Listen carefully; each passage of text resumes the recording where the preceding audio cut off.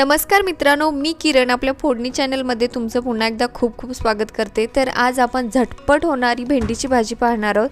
तर त्याच्यासाठी मी ही हिरवीगार अशी भेंडी घेतलेली आहे व आधी मी याला स्वच्छ पाण्याने धुवून घेतलेले आहे व त्याच्यानंतर याचे मी छोटे छोटे तुकडे करत आहे.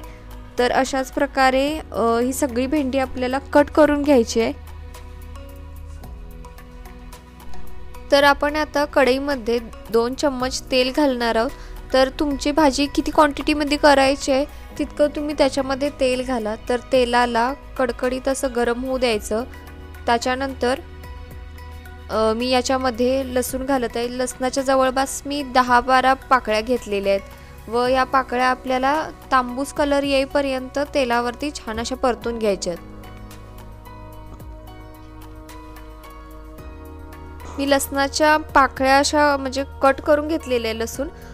कुटून घेतलेला नाही आहे त्याचबरोबर मी त्याच्यामध्ये हिरवी मिरचीच्या जवळपास दहा बारा हिरव्या मिरच्या घेतलेल्या आहेत. त्या देखील आपल्याला तेलावरती परतवायच्या आहेत. तुम्हाला जर भेंडीच्या भाजीमध्ये ठेचा घालायचा असेल तर तुम्ही ते देखील घालू शकता. हे जे आपण तुकडे करून टाकलेलं मिरची आहे ती न घालता तुम्ही याच्यामध्ये ठेचा देखील घालू शकता. तर आता आपली लसूण आणि मिरची छान अशी तेलावरती परतून झालेली आहे. त्याच्यानंतर मी जी कट करून घेतलेली भेंडी होती ती देखील याच्यामध्ये घालत. आहे व आपल्याला हे परतवत राहायचं आहे कारण का भेंडी ही चिकट असते त्याच्यामुळे कढईला चिकटण्याची शक्यता असते. त्याच्यामुळे भेंडी आपण तेलामध्ये घातल्याच्या नंतर ह्याला सारखं परतवत राहायचं. काही लोक भेंडीचा चिकटपणा घालवण्यासाठी भेंडी तव्यावरती देखील परतवतात. पण आपण या भाजीमध्ये टोमॅटोचा वापर करणार आहोत त्याच्यामुळे भेंडीचा जो चिकटपणा असतो तो निघून जातो.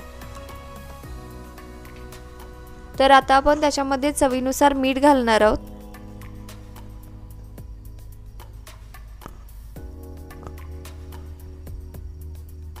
मीठ घातल्याच्या नंतर आपण या भेंडीला परतून घ्यायचं आहे भेंडीची भाजी लहानांपासून मोठ्यांपर्यंत सगळ्यांनाच आवडणारी असते. त्याच्यामुळे झटपट होणारी आणि डब्याला देणारी भाजी आहे. तर आता आपण या भेंडीमध्ये थोडीशी हळद घालूयात. मी एक अर्धा चम्मच ह्याच्यामध्ये हळद घातलेली आहे. आणि आपण हळद घालून या भाजीला देखील परतून घ्यायचं आहे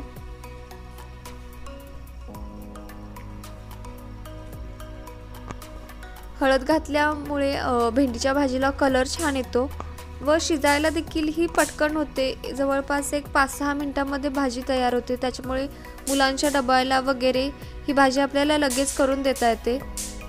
तर मी झाकण ठेवून या भाजीला एक दोन मिनिट वाफ काढून घेतलेली आहे. व पुन्हा आपल्याला ही भाजी परतून घ्यायची आहे. आपण त्याच्यामध्ये आता बारीक केलेला टोमॅटो देखील घालणार तर मी टोमॅटोचे बारीक बारीक असे तुकडे करून घेतलेले आहेत. व आता आपण त्या भेंडीमध्ये घालूयात. तुम्हाला मगाशी सांगितल्याप्रमाणेच टोमॅटो घातल्यामुळे भेंडीचा जो चिकटपणा असतो तो निघून जातो. त्याच्यामुळे मी जवळपास याच्यामध्ये दोन टोमॅटो घातलेले आहेत. व टोमॅटो घालून देखील आपल्याला हे भेंडीमध्ये छान परतवून घ्यायचं आहे हे सगळं मिक्स झालं की आपल्याला पुन्हा ह्याच्यावरती झाकण ठेवून जवळपास एक दोन तीन मिनिट शिजवून घ्यायचं आहे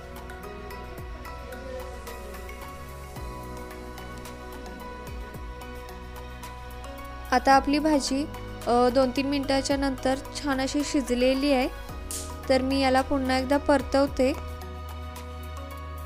तर आपली भेंडीची भाजी तयार आहे झटपट होणारी भेंडीची भाजी. तर तुम्ही करून बघा आणि व्हिडिओ आवडल्यास चॅनलला लाईक व सबस्क्राईब करायला विसरू नका.